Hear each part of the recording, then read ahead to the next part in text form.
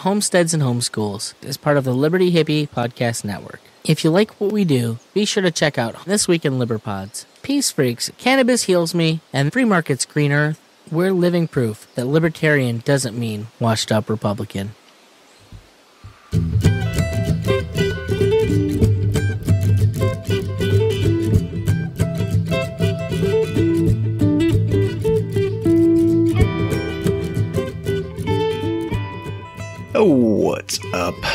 Welcome back to Homesteads and Homeschools.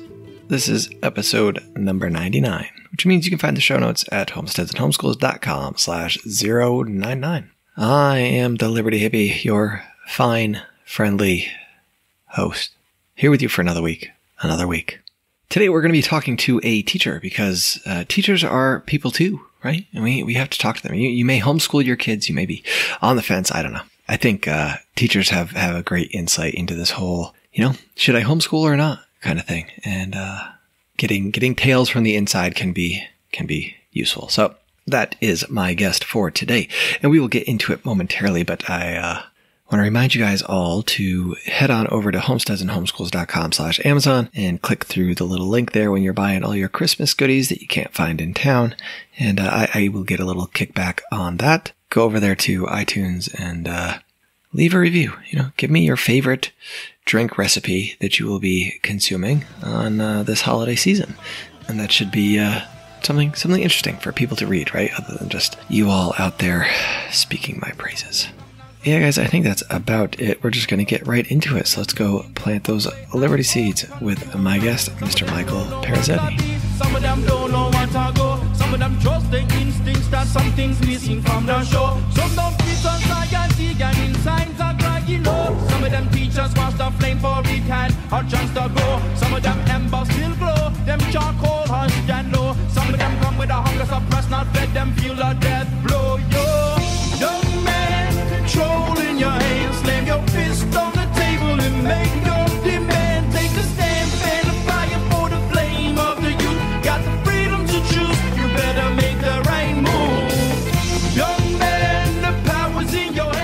All right, so my, my guest today is uh, Mr. Michael Perazzetti. Um, kind of going through this again because I, I can't keep track of everything. But uh, yeah, so he's, he's here today to talk about school stuff. Uh, we've got, talked to him for a little while about things, so I think got an interesting story to share and, and some some ideas and, and concerns. So, Michael, thank you for your time today. I, I appreciate it. Um, so, some of your some of your background here. Um, you're a teacher now. Um, how did you how did you get there? Were you, were you always like a teacher? No. Um, I wanted to be a teacher for a very, very long time and didn't jump on it until three years ago. Leave where I was. I was living in Florida, north, further, to teach. And they, they have very, they have various um, teacher residency programs the Okay. country. There's Teach for America, urban teachers, and then they have varying cities um, teacher residency programs. They're basically apprenticeship programs where you can start teaching and you don't have to have certification.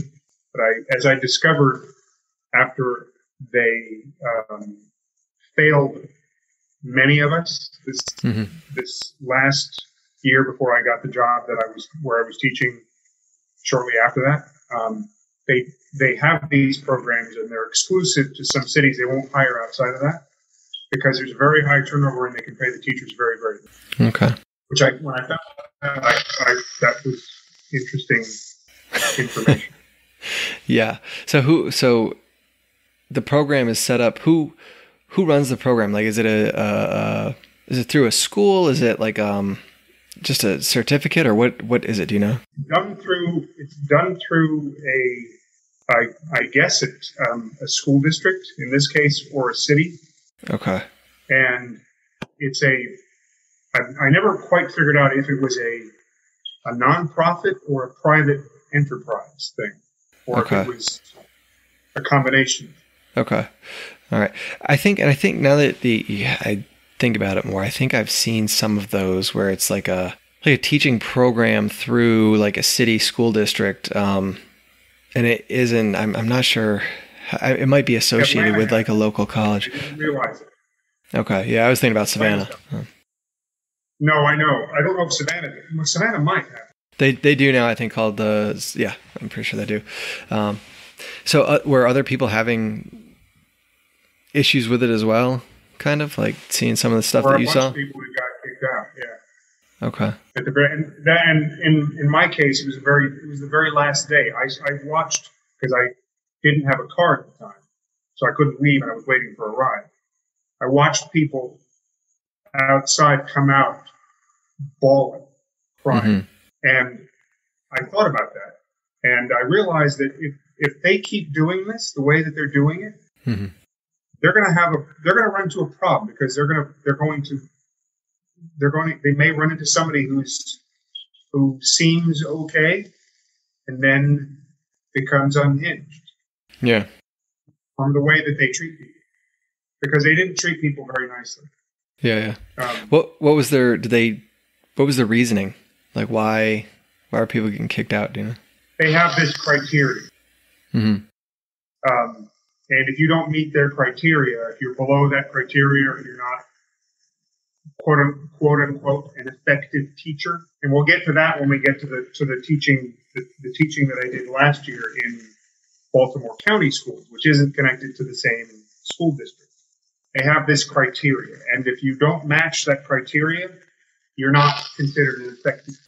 And were those criteria so it was just kind of a list at what or some was some of it like in class? Like did, what, did they watch you in in a classroom like Oh, in a yeah. student teaching thing and kind of base it off that or how did they swing it all? That's that's what they did. And there was there was I don't know exact I don't know the I don't remember the exact. There's three areas because they're probably very similar. The, the stuff that I had to deal with in the city is probably very very similar to the stuff I had to deal with in the county. But the county was a whole ma- mainly a whole year, or at least a whole year up until March when they kicked everybody out and sent everybody home.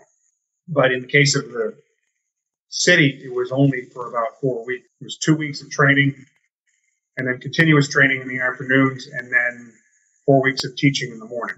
Wow. Okay. It's not not a whole lot of time. No, it wasn't. It wasn't a whole lot of time at all. And I will say, te- teaching is one of those things where it takes time to kind of perfect, um, you know, and just That's what I thought. And it's, and I also learned, and this is, we're getting ahead of ourselves here, but there's too many kids in the classroom. yeah, There's way too many kids in the classroom. And classrooms need to be 10 and under, Mhm. no more than that. Yeah. There's the, the smaller classrooms are, are. It's amazing how much more you can accomplish and, and actually get done. Um, I have four classes now. I have one class. There's three classes that are that are. I believe two of them are 18 boys. One of them is 17, and then one of them is six. okay. It's night and day. Yep, you're better able to to build those relationships and those, ah. you know, and actually communicate and make people feel appreciated. So you, you were there. So what did you do after you got out, or how did that? Did, so did they they give you a job, or No, they didn't. Free. I moved up here and I have nothing. okay, And one of the other people that got kicked out, he he had lived here for a while. So he said, apply to the county. Here's what you do. Here's the link. Here's the phone number. Here's the here's the woman you need to talk to. Go do this. And so I did it and went and applied at a school that was about 17 miles away, which was a good distance for me. And I that was a this is when I didn't have a car, and so the bus ride was quite extensive and I took my bicycle, and that was not that bad, but the bus ride was quite extensive. And they said they would call me back. They never did. I wish they had. And then there was one that was five miles away, which was closer. Seemed ideal. Now, the the thing is, I moved up here to make a difference in an urban environment, which means I didn't want to be in a classroom filled with. There's there's no other way to put it with with, with the majority of white kids. Right. I wanted to be in a classroom with, with people who needed my help. And that didn't happen. In the in the in the summertime it happened before and then then they closed the program and they kicked a bunch of us out. When I went to the county, it was the split was about thirty percent black Americans, about 30%, give or take, Hispanic, probably about 30, 35% white, and a variety of smaller minorities of others. So how was it? Like, did they? Did you have to when you got your job there? Did you have to get another certificate, or did they take you on? And You had three years to do it. okay, And I quickly became completely and utterly overwhelmed. And I never got it. I never got the certification. And then there were a series of four evaluations. They come into the classroom. Um, and the criteria is classroom management, culture of learning, and there was a, there was one other thing, but those are the two main things. And they when they came into the room, it would be the assistant principal and then the head of the department, my the English department because I taught English, asking the kids if if they're learning anything.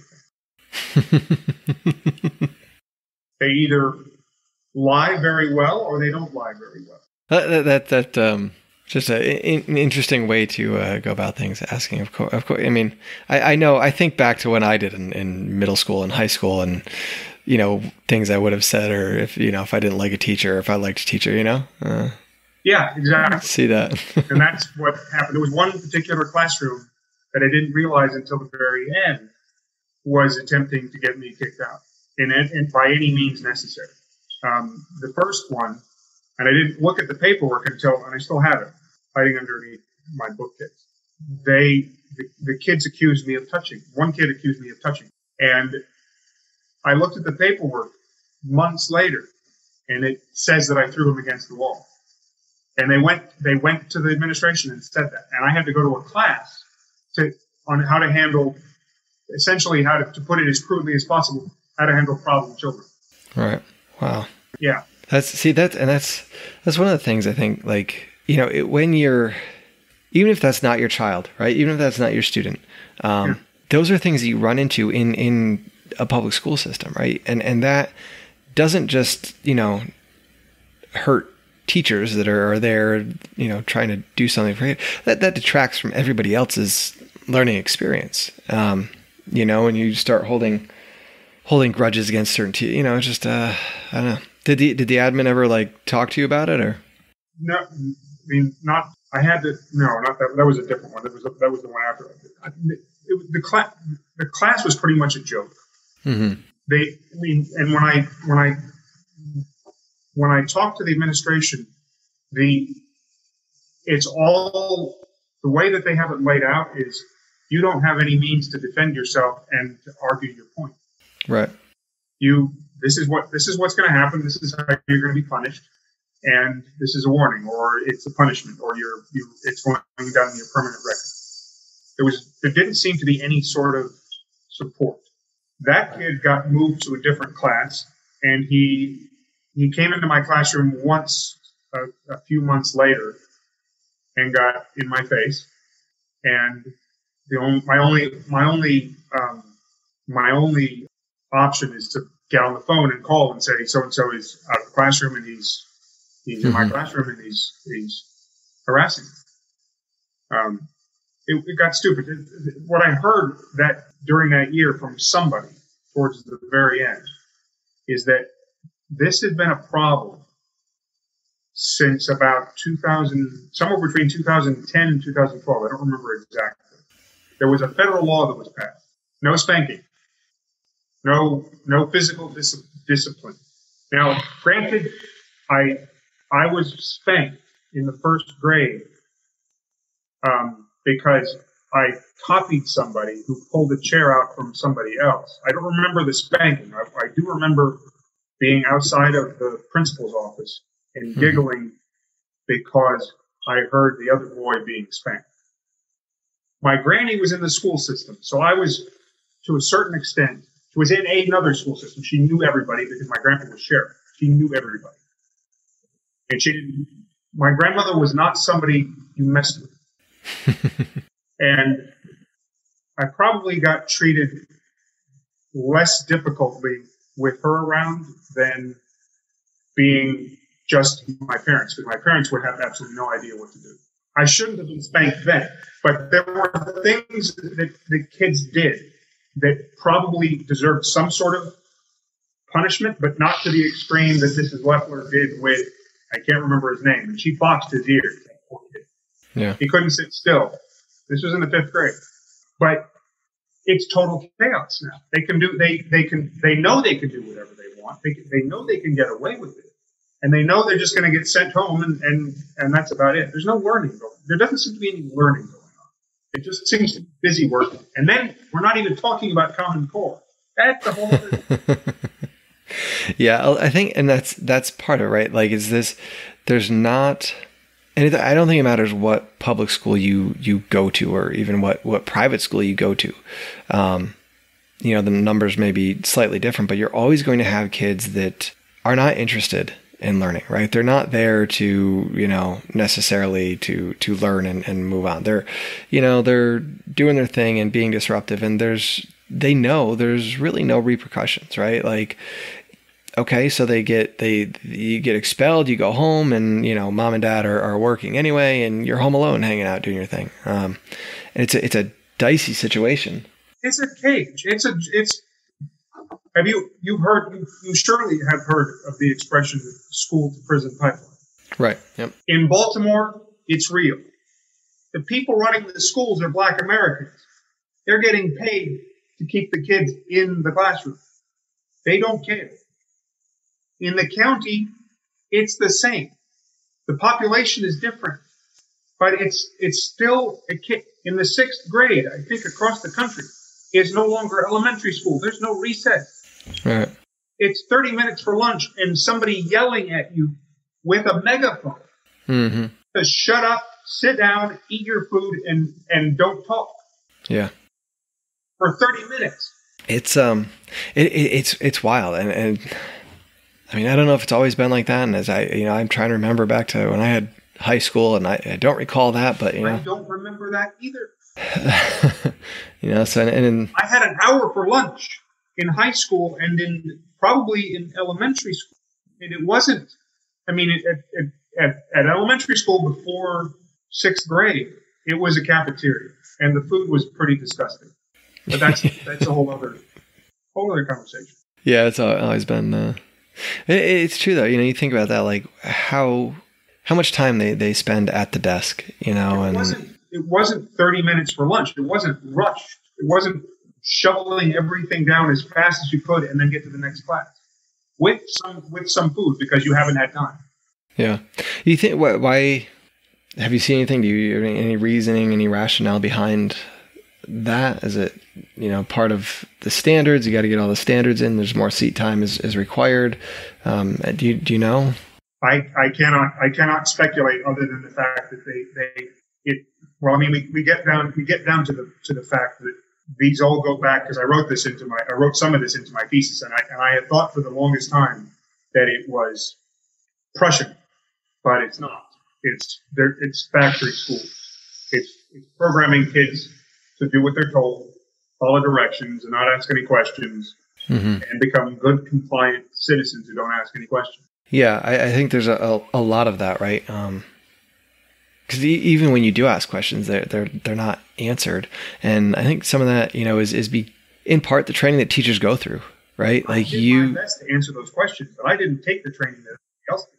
But and that's it, right? So, and I remember because I had I had a, a couple teachers in, in high school that that would answer, that would you know like talk about things that are are taboo or, or not uh, normally talked about in schools, right? Like like let's talk about Abraham Lincoln and, and what really that was all about. Let's talk about you know George Washington. You know there there was no cherry tree. Like that's just a big myth to make us you know all these storied people. You know. Um, and I, I remember some of those conversations but i think too like there's not there's not time like you're not allowed to to to have some of those conversations to teach some of those lessons um i'm kind of so when uh, when when you did your your training and stuff um and you got in the classroom was there did you have any time to get into the things that you wanted to get into or was it kind of like how how scripted how much stuff did they I, know I tried to be scripted. I'm, I'm not scripted very well. I had a lesson plan, and then I, I went as far as far as the lesson plan. I had everything printed out so the kids could see it. They hated the handouts. And I had everything written down. So what do we do next? And I had to repeat it five times, according to one of the people who was one of my, allegedly one of my coaches, who was a big pain in my butt. um, she was, she was, she became very toxic to me, and I dreaded having her in the room. She said, "I'm doing it wrong," and they all, everyone kept coming to me and saying, "You're doing this wrong. You're doing this wrong. You're doing this wrong." So, well, show me the formula that I need to do because that's how my brain works. Well, this doesn't work this way. This is teaching, really. So the Common Core and all the standards and stuff, how much how much is spelled out for you in terms of you know like you have to use book X, you have to you know, or is it like here's five books, pick one, or it's not a particular book. There were particular books that we could use if we wanted to, but it's not a particular book. It's a particular. There's a there's the grade level, and then there's point two, point three, of like particular parts of speech or grammar or concepts. But there was no grammar being taught. And a lot of times we weren't supposed to grade it according to the grammar. And what I wanted to do was grade it according to their understanding of, of concepts. And I wanted to teach I wanted to teach critical thinking. Let's yeah. be honest. and there was one lesson, and the class that was the least behaved that wanted me out of there they did the best on that particular lesson. The other class, because this was the these were these were I had two advanced classes and and three regular classes, and the second advanced class didn't do well on the the debating thing because we did one thing of critical thinking and debate. The standard classes didn't see it until we went. We had to do everything on virtually via the computer, and so most of them didn't show up most of the time. One class showed up consistently almost all the time. And they were my favorite class, and they were the ones that didn't do well when, they, when we debated for one reason or another. They were the most, they, they liked me the most, and they were, they, they behaved the, the best, honestly. Are you, are you doing, so you're still teaching now, you changed? I'm in a private school teaching, teaching Jewish boys. Okay. Um, is that virtual? Is that, uh, no. you're all still, still there? Okay. All right. And how's that going? Plastic partition at the front of the, the room on the table. And my and the desk that I'm supposed to be sitting behind is right behind it. I don't like big desks. So I pull up a student's desk to the front of the room backwards and then get a regular chair, which isn't the chair that sits behind my desk because I don't like that either. Um, and I sit there with my computer because there I, I I realized after giving them lessons for about a month that they couldn't write. These these boys are in the 11th grade. They're about to finish and they can't write. I'm seeing now that some of them can write. When you when you say can't write, like they just can't can't make like a coherent paragraph. Their grammar's off. Like what do you mean? Like what? Sometimes the grammar, but a lot of times the coherent thought. And so the the principal is with certain exceptions because he's getting more and more into my business which I don't like. He's letting me do whatever I want as long as he knows ahead of time what I'm going to be doing and assigns things to them every day so that I can keep them under control. Not his words, but his intent. Right. Which I don't like either. Um, the boys don't like it because they have these things called exit tickets. You're supposed to do this by the end of the day to show that to show that you've understood the lesson for the day. Yep. So I've I've modified them to the point like so what have you found in your writing today? Because I because I assigned it when I found out they couldn't write very well and they weren't returning the assignment like I asked them to. I assigned a research paper. They don't get access. They get access to a library and they get access to librarians or people who are acting as librarians but don't have an MLS. And, and while I have a problem with people with titles that, that don't know what they're doing, mm-hmm. librarians usually know what they're doing and they have an MLS. And I wanted to, I wanted to get one of those at one point, but I never got around to it. The librarians they have in that library don't know what they're doing. And originally, the assignment I was going to find all the resources for. And the principal said, "No, let them do the research with the librarian. They need to do this themselves." I said, "Okay." And then I went back to the boys and I, I told them, I said, "Well, that changed. You're going to have to go do this." And they raised they they raised holy hell. They said, "Have you met the librarians?" principal said it was okay. You'll be fine. And then I started to see the research coming back that they were being given. And I realized that if I didn't step up and go do digging for this stuff myself, we'd be in big trouble. So I've uploaded books, I've uploaded articles, I've uploaded more books and more articles and websites because they don't have access to the internet, except at school in the classroom, not in the because they live in it's all dorm.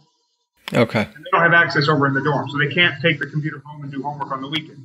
Wow. They have to do it in the class. Interesting.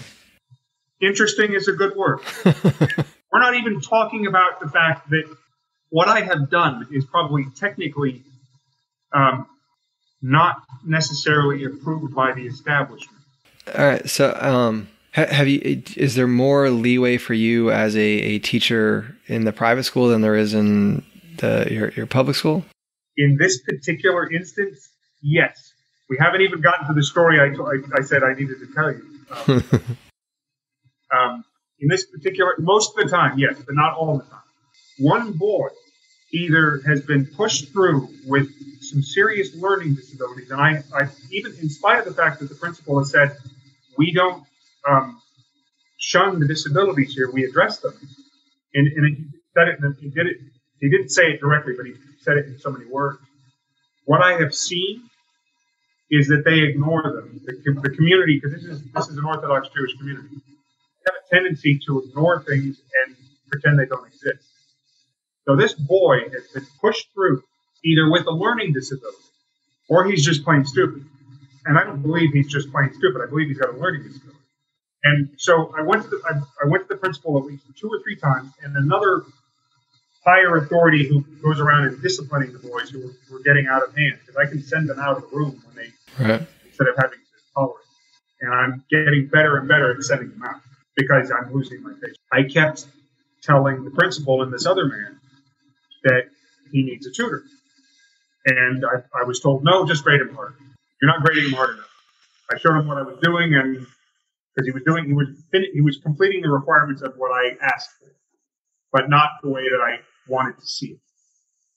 And he said, one of them said, just grade him harder. And then I, and I kept saying, he needs a tutor.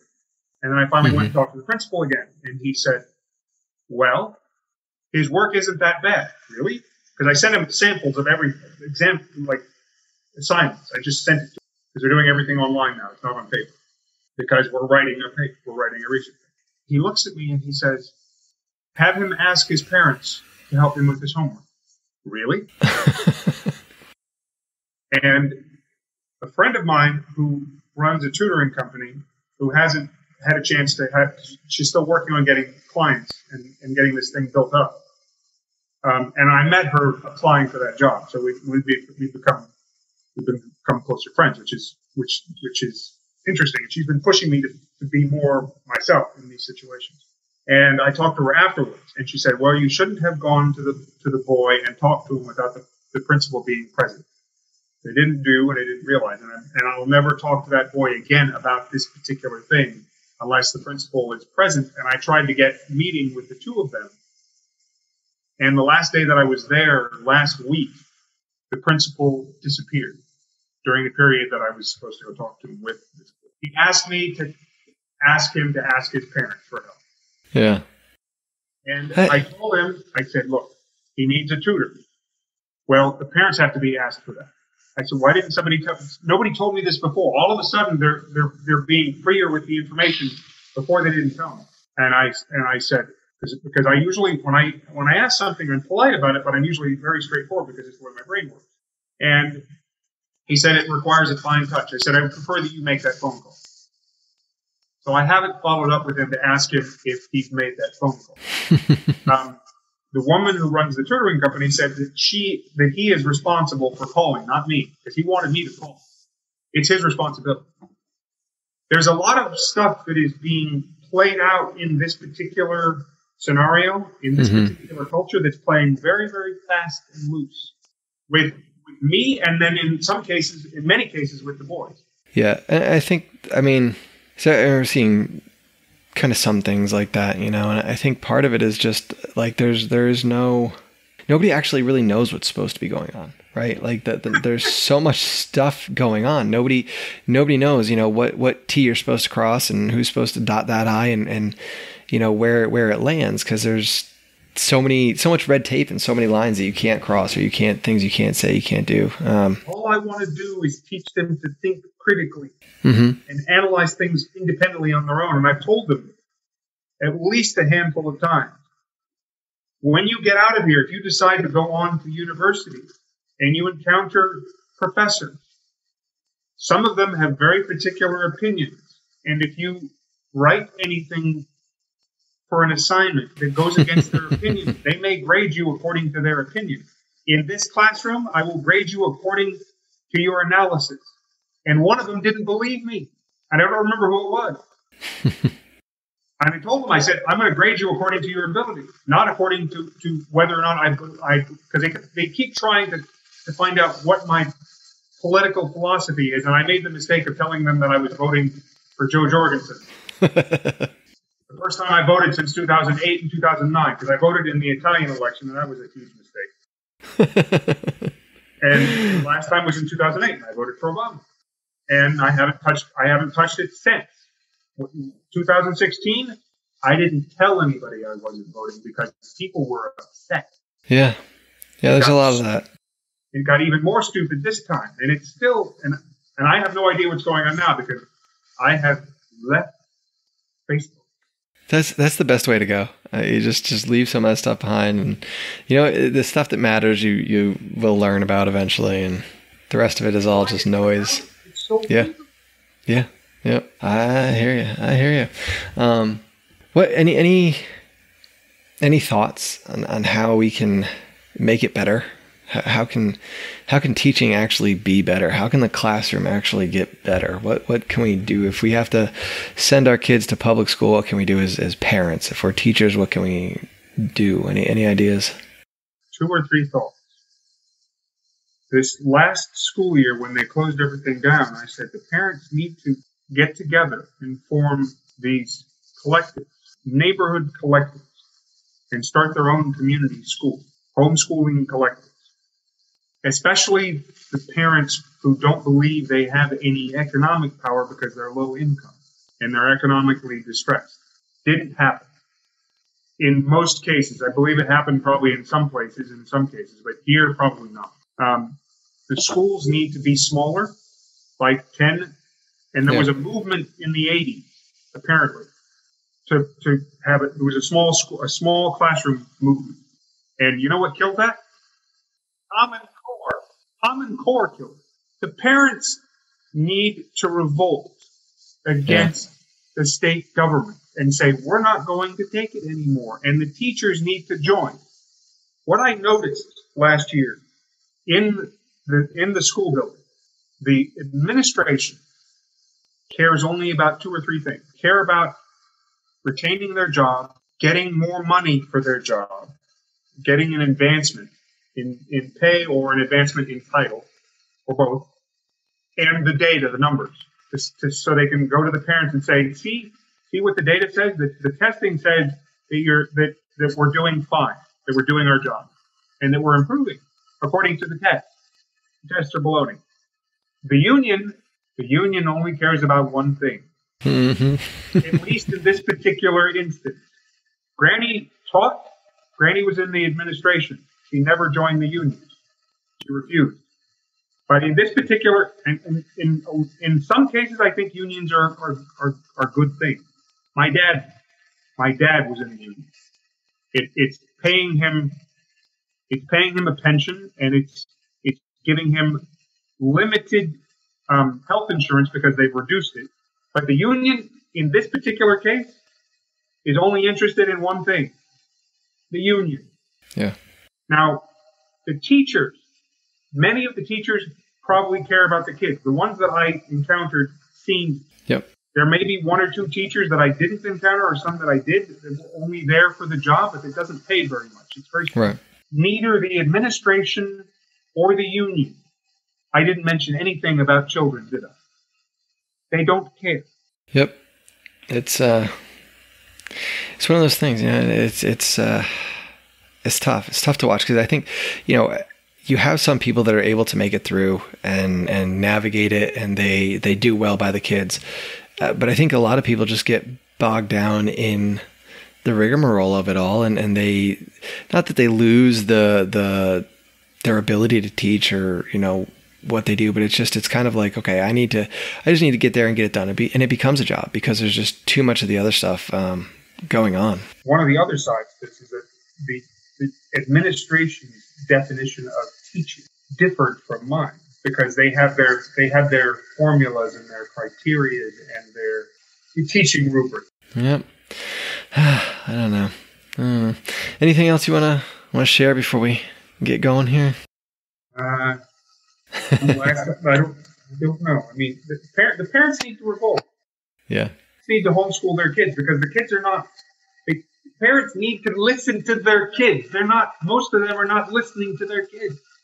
They're Yeah. believing what what the school and what in, in, in many cases when the teachers are not paying attention and they're doing and the teachers are following the directions according to what the administration tells them, not to what their conscience tells them and what their common sense tells them, and they call somebody, they call the administration, they have CPS show up when somebody's playing with a, a BB gun or a water gun in virtual school. Come on. Gotta trust the experts, man. The parents need to trust their kids. They need to trust their kids more, and they need to believe what their kids are telling them because they're not listening to them. Yeah. It's it's um it's tough, you know, it's a tough thing to, to think about sometimes. I, I think you, you do have you got to trust your kids because they, you know, they know.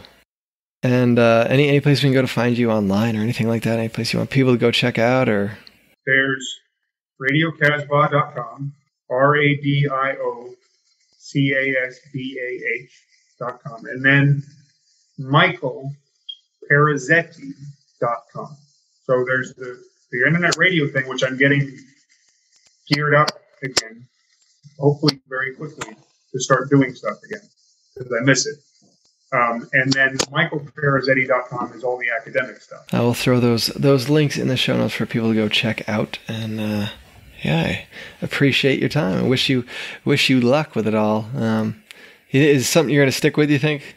Um, I need to be working with kids. Yeah. I don't necessarily believe it's going to be in Maryland. I need to leave Maryland as soon as I can. um, and I will stay at this school as long as I'm able to. But I believe the, um, the woman who runs the tutoring company, she has several different certi- certifications from Coursera that are official, legally recognized certifications, including a an IEP um, coach um, certification that cost her a good chunk of money, and I, I want to get that too. I believe my my my destiny is working with kids who have challenges individually Mhm. to help them succeed. Um, working in a classroom with a bunch of kids is not probably where I need to be, and I also want to go back to school and get a PhD. I think at this point, I think I've I've, I've given myself a rest from the the chaos that and joke that was my master's degree that I have to go get a PhD in um, social thought Okay. and finish doing the things that I'm studying on, about propaganda and finally get it done. Right on. But the school is going to pay my way. Not going Yeah. to pay. Yeah. Not this. All right, man. Well, I, I wish you luck with all that stuff. And uh,